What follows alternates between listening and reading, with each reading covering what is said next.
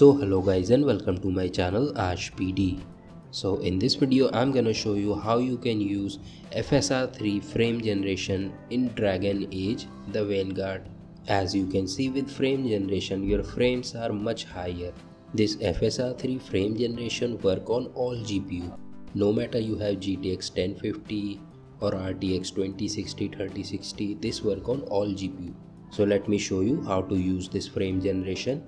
Okay first open your start menu and type graphic settings.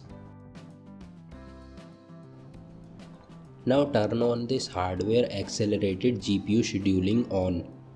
Turn it on and restart your PC.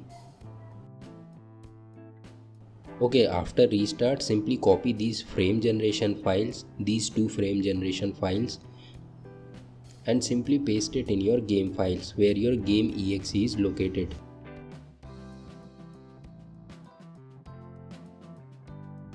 Now simply turn on your game.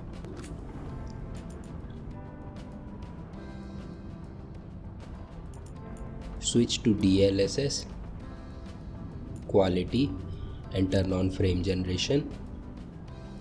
And done. Now enjoy. So hope you like this video. So i request you please hit the like button and subscribe my channel ash pd and if you have any questions just comment down and ask Looks like the barrier to block the way.